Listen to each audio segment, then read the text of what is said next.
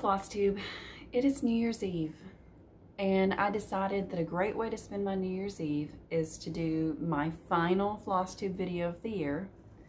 And then once I finish this video, I'm going to film one more and get that uploaded hopefully today as well, which is going to be going through my 40 starts for my 40th birthday next year, one by one, showing you the bag it's in, the fabric, the chart, and the threads, and whether I've changed those threads.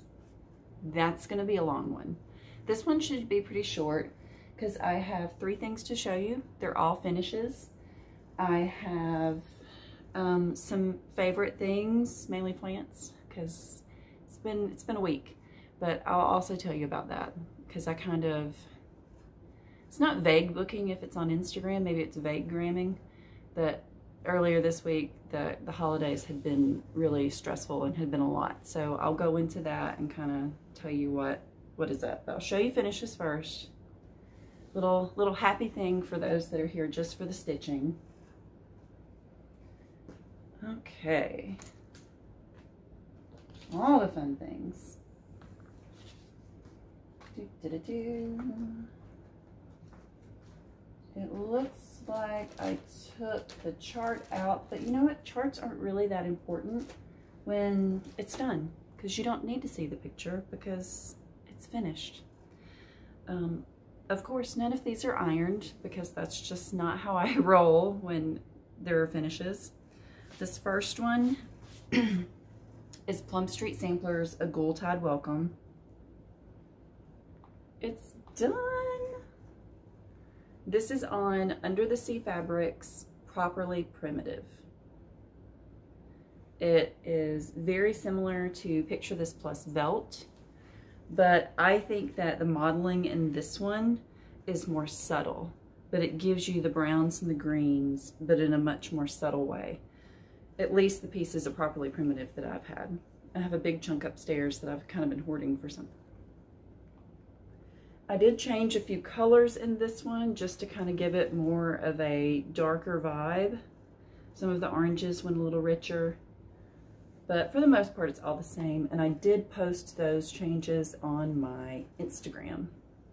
And if anybody wants them, just ask. I can put them in the comments below. But like you can tell, one of the changes is the sun and the little patchwork stars are darker. Get a up close of the cute little witch and her funky horse.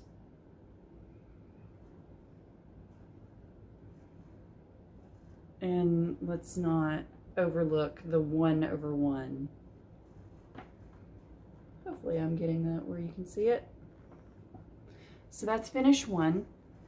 I probably, I really honed in on this one and I probably, I had half of it done and I probably worked on it for about a month to finish it up. So that's this one.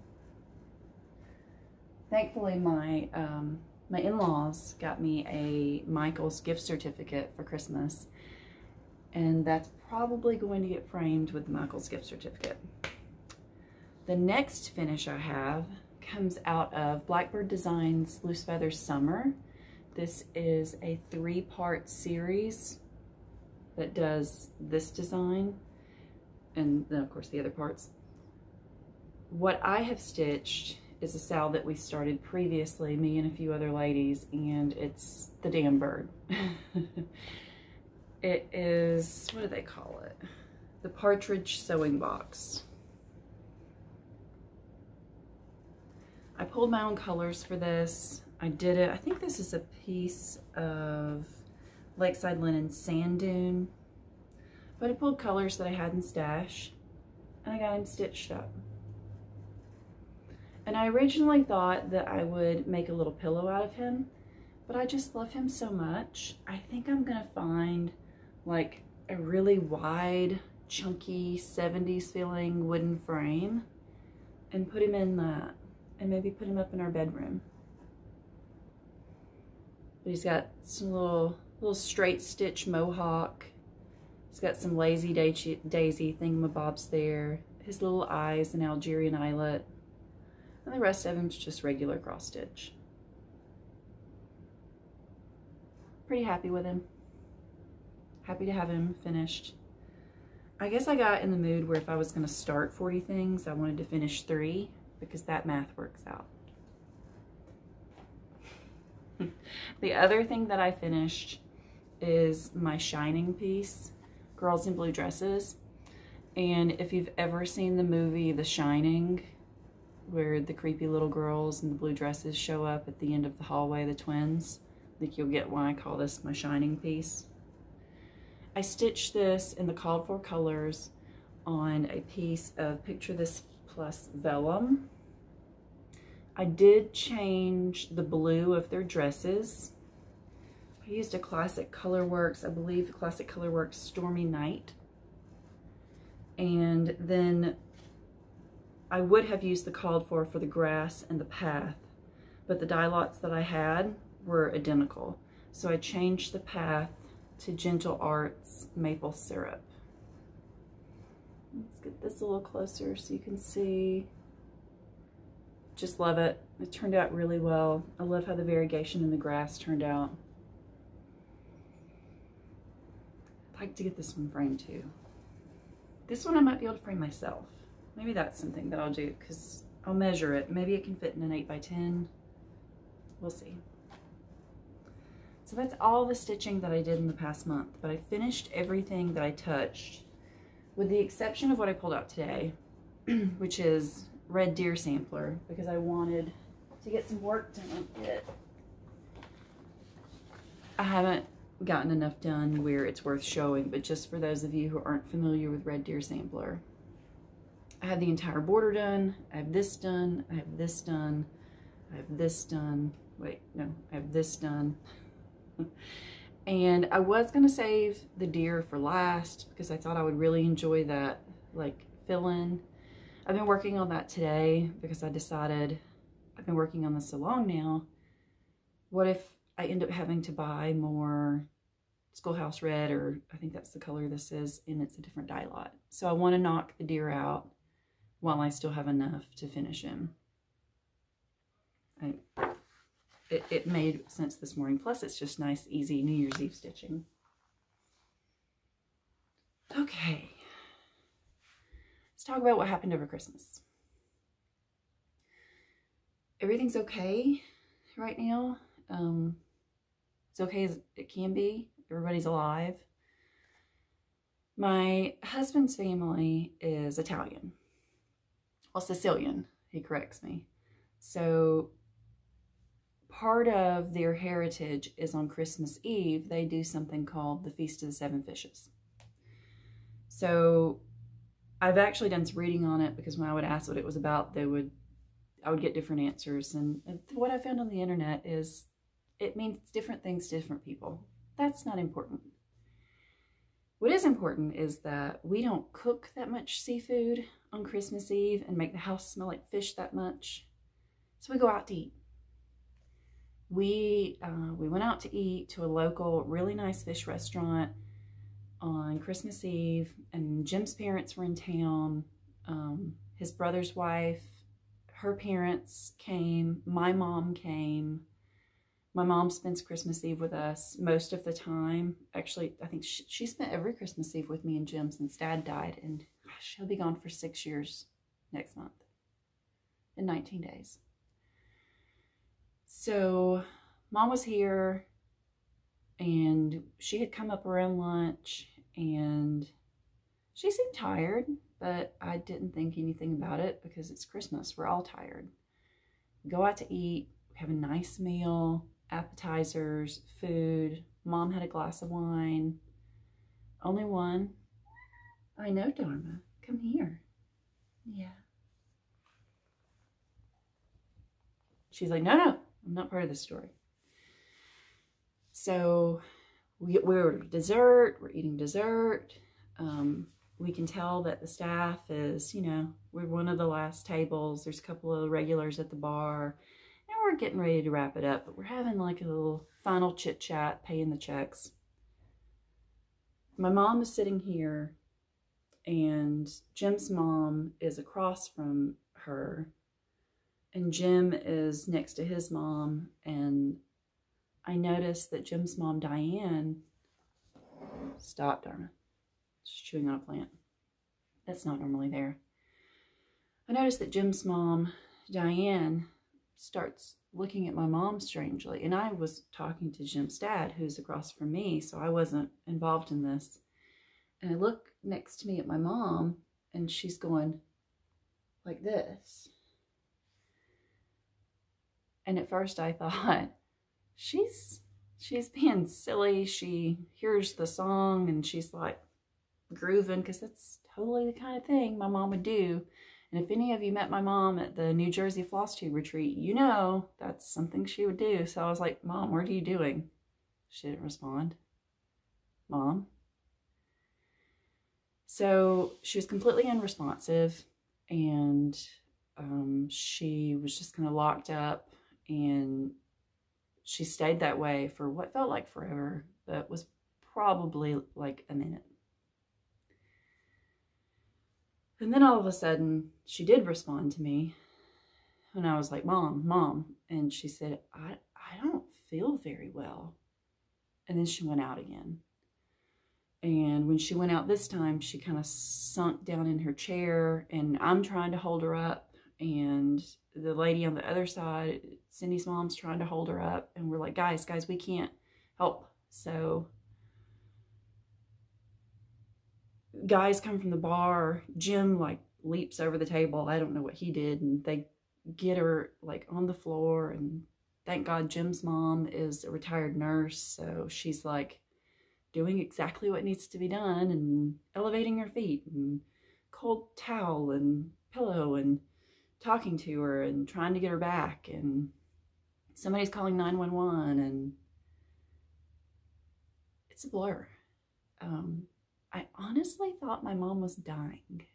It was really scary.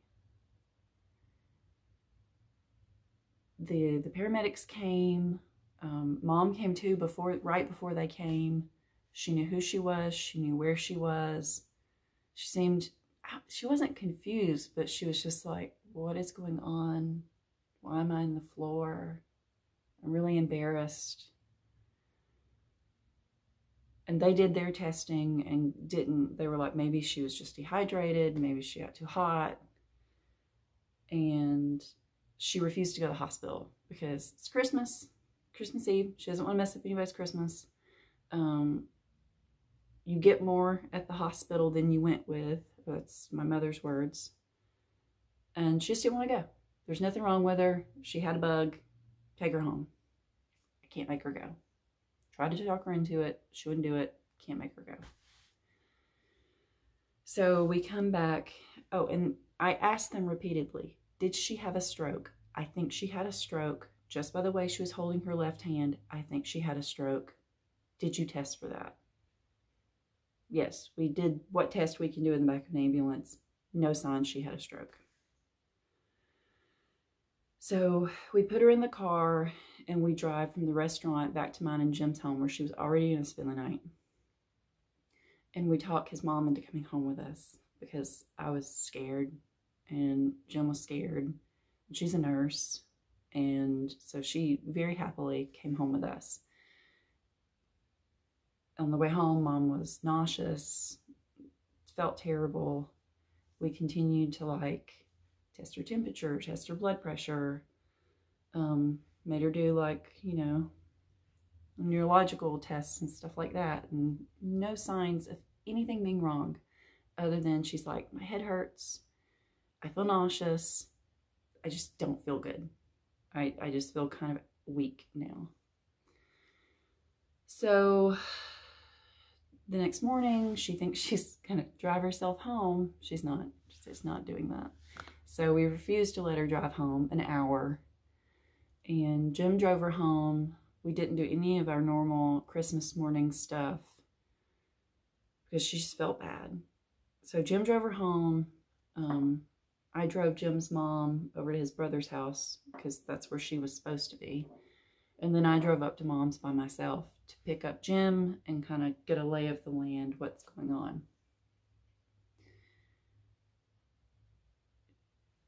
She just, she refuses to go see anybody until she can go see her doctor on Monday morning. What do you do? Oh, Christmas is her birthday. So it's her birthday. Um, she turned 73. And if she knew I told all of you that, she might kill me.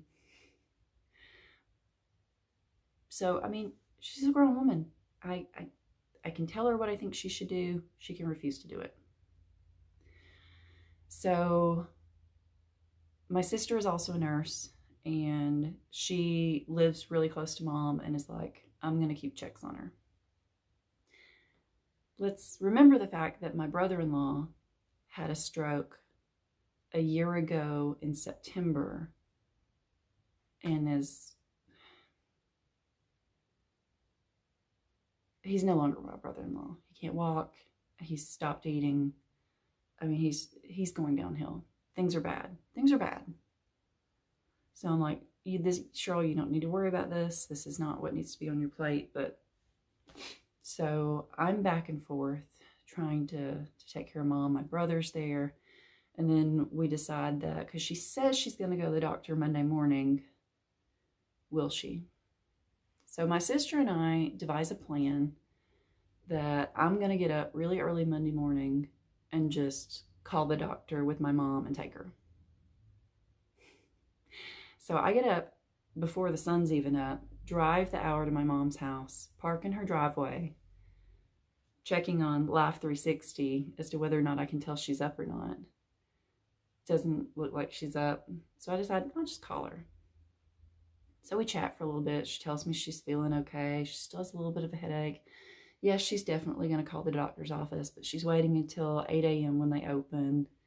And I'm like, okay, well, um, it's 7.30 now. I'm in your driveway. Can I come in? so she's like, you girls thinking you know what's good for me. So I go in and we hang out together for a little bit. And I call the doctor's office while she takes a shower, get her an appointment for 2 p.m. that day. So I stay with her all day, drive her to the doctor's office. He says he thinks she has, he gave a fancy name for it, but he just thinks she passed out. I'm like, yeah, that's not what happened. It's cute that you think that, but that's not what happened. I, I was there, I saw it, there was more to it. I'm sorry. I and that's one reason my sister wanted me to go because she knew I'd be like, yeah, no. that's we need tests. And he said, well, I do think it's a good idea to run tests just to be sure. Um, something I would do anyway, just in case I'm, you know, what my gut instinct is wrong. We, he ordered a CAT scan, vascular scan, a um, an echo, and said he was going to do a referral to a neurologist so they could do an EEG. And I was like, all right, great, awesome. So we get all those appointments except for neurology lined up because apparently that's hard to get. And the next day, bright and early, I drive mom to all these appointments. So we do the CAT scan. I mean, everything's just going like clockwork we even go and walk around at Hobby Lobby for a little while because we're like, you know, we got this time to kill between appointments. She feels okay. She's still got a little bit of a headache, which is weird and concerning. So we go to eat lunch, eat our entire lunch, and I step away to the restroom. And when I come back, she's just sitting there at the table. And I said, What's wrong? And she said, The doctor called. They've already reviewed my CAT scan and I got really bad news. I have a brain tumor.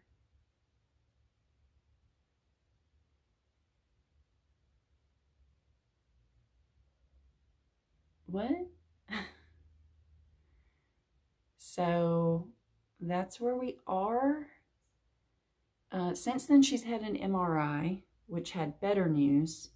We did an MRI the next day, and the doctor said that he can't say conclusively but based on, because an MRI gives you a much better picture and idea of what's going on, but he said that based on the characteristics of the mass in the MRI, he believes enough to say it looks like it, that it's a benign cyst.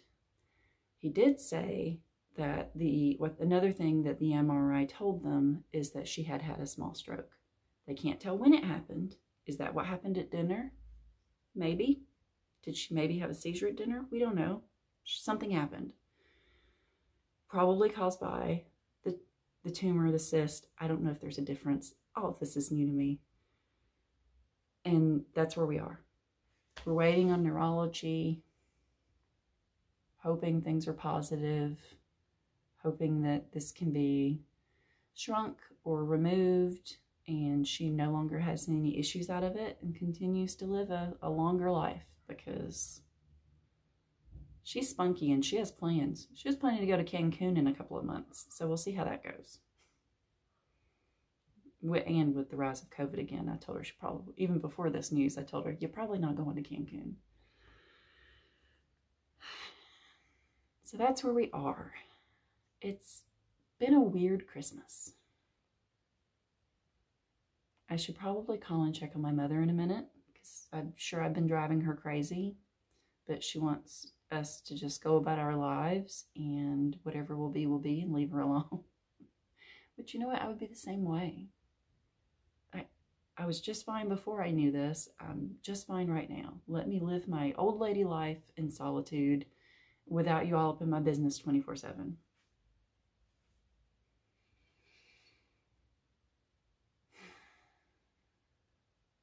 I maybe should have showed you the positive things first, but we'll end on a positive note.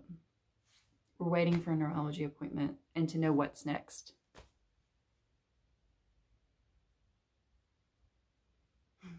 I have plants and a couple of other things.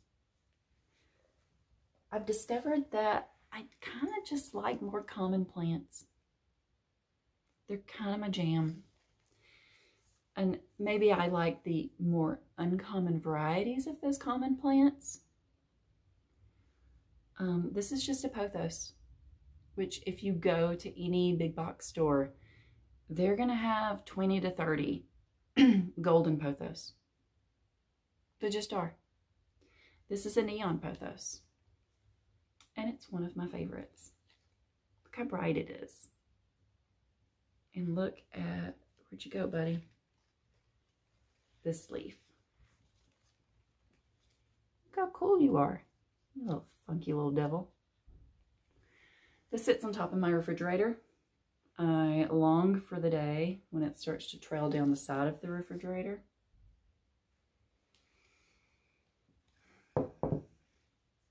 This is a heartleaf philodendron. I'm not as great with philodendrons. I want them to love me more than they do, but they're a little bit more delicate than a pothos. But I love this one because of the way the leaves look. This is a philodendron Brandi. It's got some new leaves coming in. It's got a leaf there on the way out. But such is life. Things die and new leaves are born. It's the way life works. So I try to be okay with uh, the new leaves going away because it's what's supposed to happen. This one loves humidity, so it sits over there almost right on top of my humidifier, and it keeps it springy and boingy. This is a Scindapsus. It's a Scindapsus treubii moonlight. Got thicker leaves. And they're like all silvery looking. That's why it's called Moonlight. And since I've had it, it's started to trail a little, which is pretty exciting because these things don't grow fast. Look how pretty it is. This is my second one of these. Um, my other one, I think there was just some root issues with it when I got it because some of it died off and it's in the sunroom with what's left. It's fine. It looks as healthy as this one, what's left. But what's left, it's not as full and beautiful. One more plant. This is another pothos. This is an unusual variety of pothos called a Cebu Blue. And you can tell the leaves are light and veiny.